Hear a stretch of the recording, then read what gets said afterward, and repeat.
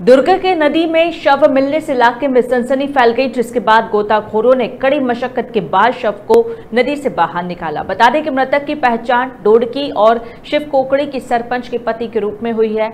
वहीं पुलिस ने मर्ग कायम कर पोस्टमार्टम के लिए शव को अस्पताल भेज दिया है। जाँच में शरीर पर चोट और घसीटने के निशान मिले हैं, जिसके बाद हत्या की आशंका जताई गई।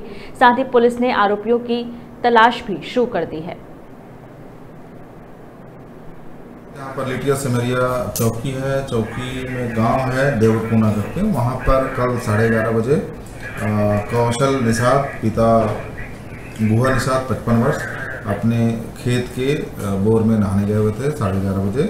और जब नहाकर वापस नहीं आ रहे थे, तब उनकी पत्नी को शंका हुई जब वापस वहाँ पर चेक किया तो नहीं में नहीं मिले। और आसपास ढूँढने पर नदी के पास उनका शव मिला, संदेहास्पद स्थिति में।